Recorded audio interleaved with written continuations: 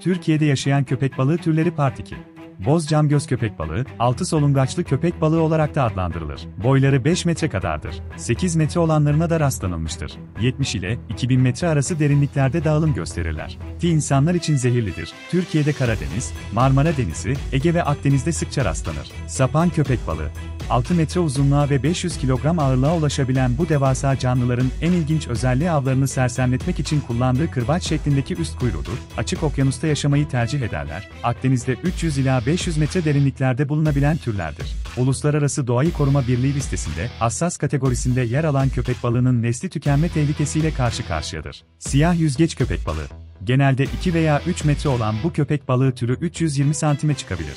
Genelde sardalya, kefal gibi küçük balıklar yer ama bazen ton balıklarına ve orkinoslara saldırdığı da olur. Türkiye'de Marmara Denizi, Ege ve Akdeniz'de sıkça rastlanır, zararsız bir türdür.